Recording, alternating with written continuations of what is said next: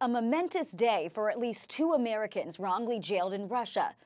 Wall Street Journal reporter Evan Gershkovich and former U.S. Marine Paul Whelan have been released as part of a major prisoner swap.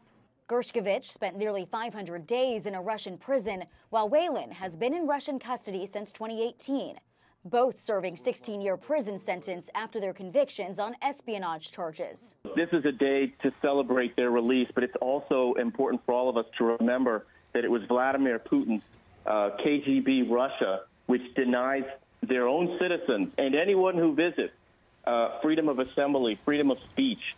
Uh, this is the result of, of that. The last time the U.S. exchanged prisoners with Russia, the White House was strongly criticized for turning over an infamous arms dealer, Viktor Bout, who supplied weapons to Al Qaeda and the Taliban for basketball player Brittney Griner. Obviously, this exchange uh, is important to get Americans home. But I will say uh, the big question to me is what the Biden administration gave up uh, as part of this uh, agreement. Uh, and that obviously we do not know yet.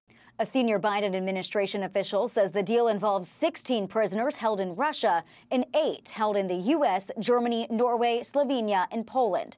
Turkey helped facilitate the prison transfer. In Washington, Rebecca Castor, Fox News.